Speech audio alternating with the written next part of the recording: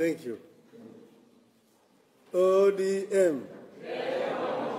ODM. ODM. Thank you. You may be seated.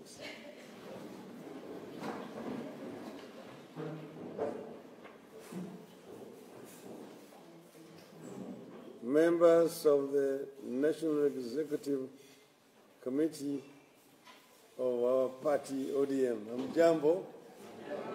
Hamjambo tena? It's been some times uh, since we had our last meeting. I was just reminded that we had the last NEC meeting in December last year. And we were supposed to have a meeting in March this year. Unfortunately, kwa sababu ya mambo ya corona hatujapata nafasi ya kukutana tena.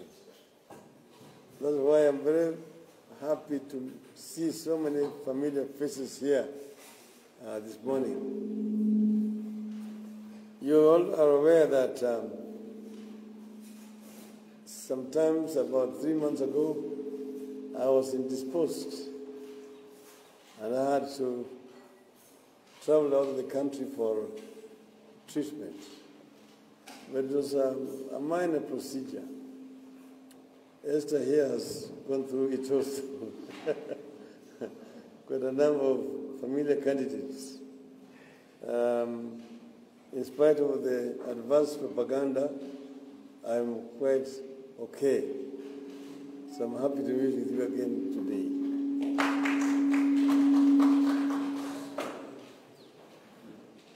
Once again, we meet at a very critical time in our country. We are in the middle of a major economic meltdown put about by the COVID 19 pandemic. Business, businesses have collapsed, people have lost jobs, schools have been closed, we have lost friends and loved ones to the pandemic, and the future remains uncertain here and across the world. In times like these, we as a party must take time to listen to the aspirations, hopes, wishes, and fears of our people and turn this into action points that ease the burden on our citizens. I trust that the delegates gathered here today will ably capture the concerns from across the nation and equally come up with recommendations on how we can make interventions. As a party, we have worked closely with the government in ensuring that measures aimed at containing the spread of the virus are as humane as possible and do not cause more panic to the people. We agreed that a complete shutdown of the country was going to add more pain and needed to be avoided as much as possible. We will continue with that cooperation even as we move to ease some of the containment measures that have been in place since March this year. We will work with the government to ensure a safe reopening of the economy, including our learning institutions, businesses, and places of worship. As a party, we believe the lives of our people are more precious than our political careers. We will not play games or seek popularity over life and death matters. In the middle of the uncertainties, we as a country are also keen to complete the reform agenda that we embarked on from March 2018 through the Handshake and Building Bridges initiative. The BBI report is around the corner. The forces that have always opposed change, the, force, the voices of impunity that thrive on corruption and outright lies have already lined up against the report. yet they have not read it. In the ODM, we take pride that right from birth, about 15 years ago, we have always cleared new pathways and opened new roads so that Kenya and Kenyans can move forward.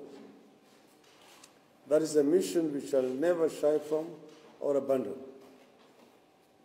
We must therefore get ready to take up the battle to the anti-reform elements that are lining up to stop the nation from moving forward. These anti-reform forces are not new.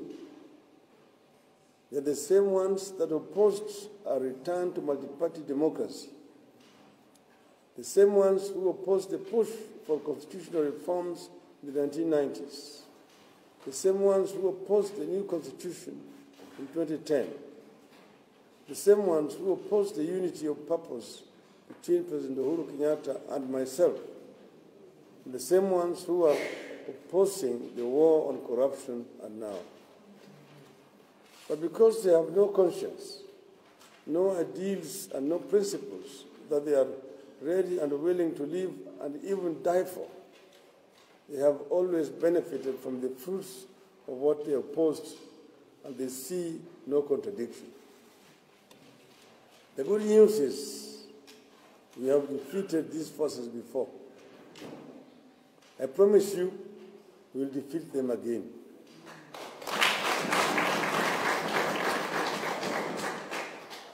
To be victorious, we will need synergy and unity of purpose among all our party organs and branches and greater coordination with our members and supporters across the country. We must strengthen our party at the grassroots and recruit more into our ranks.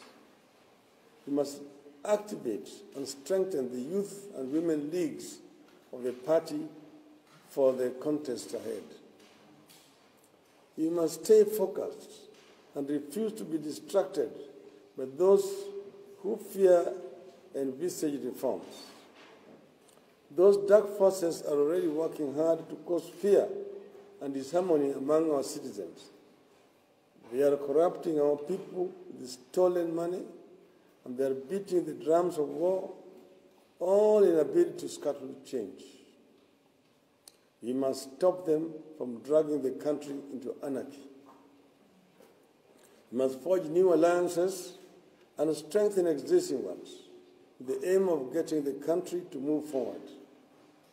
Our existing alliance with pro-reform wing of Jubilee, led by the President, has seen the country move forward in critical areas like fighting corruption and initiating key development projects evenly to more parts of the country. Previously, the dark forces against reform also ensured certain regions were starved of development. We need to engage with the veterans of the reform movement in the country and let them know that our country needs their services, sacrifices, and experiences again. We must also re-engage the community-based organizations and elements of civil society, those that have not auctioned, uh, have not been auctioned, and work with them in the People's Power Project that's about to hit the road. Above all, we must take the message to our people that the changes we pursue are in the best interests of the nation and will create opportunities for everyone. Although the final report of the BBI is not out, we had a preview in the draft launched in November 2019, uh, and in the nine-point agenda we unveiled in March 2018. We are talking about how to grow the national cake so that we can have prosperity to share, how to make our elections peaceful and democratic, how to strengthen devolution, how to ensure safety and security all our citizens. We are talking about how to end corruption, which has crippled this country, but continues to be the lifeblood of those opposing change today as they have done in the past. We must take the battle to our opponents and challenge them to state what they stand for, what they want for the country, how they intend to achieve it. Must challenge our opponents to tell the nation where they oppose efforts to ensure shared prosperity, end corruption, end divisive elections, and strengthen devolution. What is the alternative to these proposed reforms? The other day, I talked about expanding the national cake. This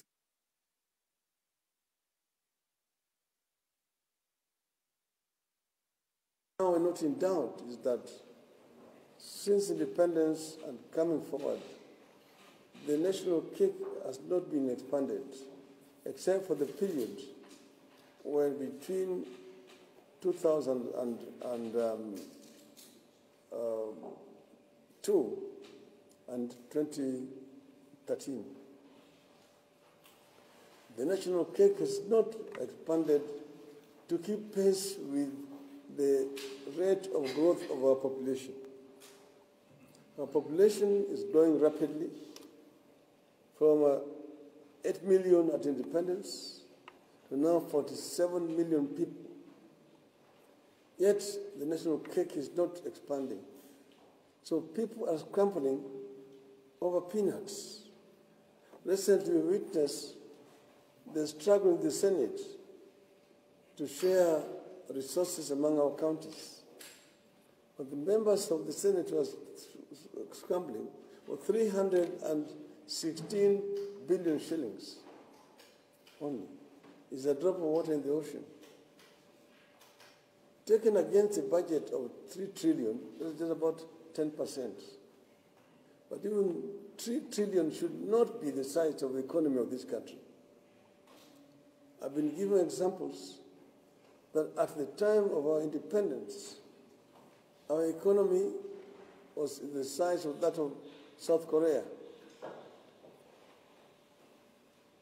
In terms of per capita income, in terms of uh, literacy levels, in terms of uh, uh, um, uh, industrialization, agricultural production, and so on. Kenya and Korea were equal in terms of major economic indicators.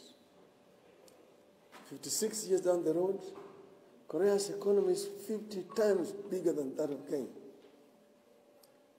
Their population is smaller than ours. So they have much more to share. And that's, if unless we change direction, which is what is envisioned in the BBI, we will not be able to catch up. That gap will continue to grow and will continue to be mired in poverty. These dark forces which have kept us behind are the ones which want to continue to keep this country hostage. We must not allow this to happen to our people. We have a, a responsibility as a people, as a party, to liberate this country.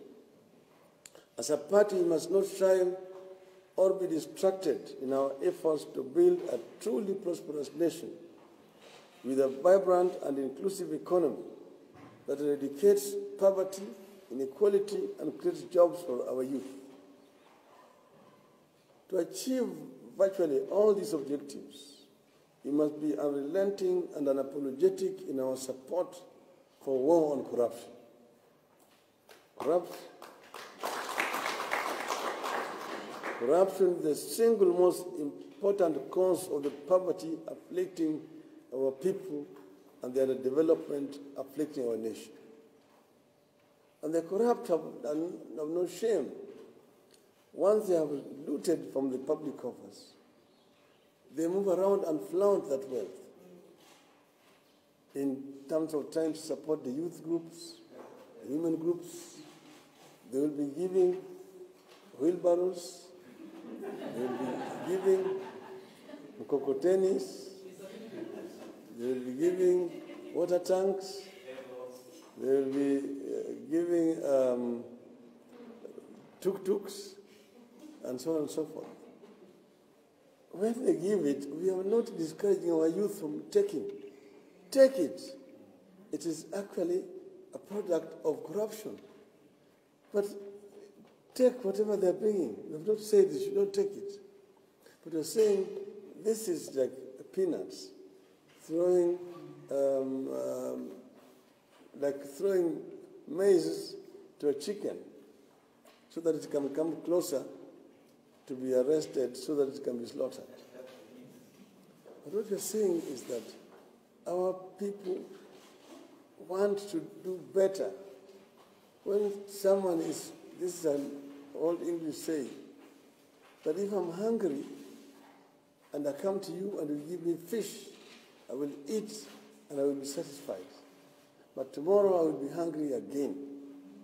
But if you teach me how to fish and give me a fishing net, then will, you have given me permanent food. Our people don't want the fish that has been cooked. Our people want to be fishermen and fisherwomen.